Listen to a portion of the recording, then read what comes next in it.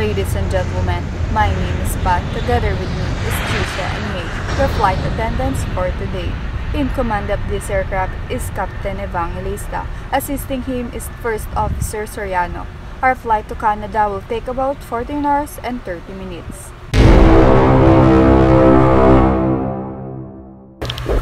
Ladies and gentlemen, please direct your attention to the cabin crew who will demonstrate the safety features of this aircraft.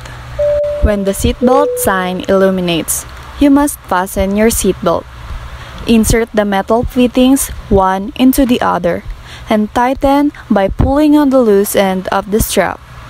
To unfasten, lift the buckle and pull free end to release. In case of water landing, your life vest is located under your seat. Remove sharp objects from your body. Put it on.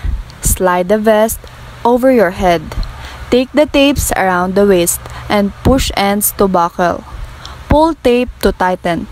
When outside the aircraft, pull inflation tags to inflate the vest. Manual inflation tubes are found on both sides. Blow to increase air. Push pins inward to release air. Lights will automatically illuminate once the battery tab is immersed in water. Do not inflate the vest inside the aircraft. Please be reminded that unauthorized removal of life vests from this aircraft is a criminal offense. In the event of sudden loss of cabin pressure, an oxygen mask will automatically drop from the compartment above you. Immediately pull the mask towards you. Place it firmly over your nose and mouth. Secure the elastic band behind your head and breathe normally.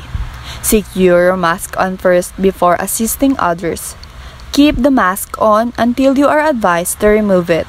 Please take note, there are several emergency exits on this aircraft. One forward, one aft, and one over each wing. In some cases, your nearest exit may be behind you.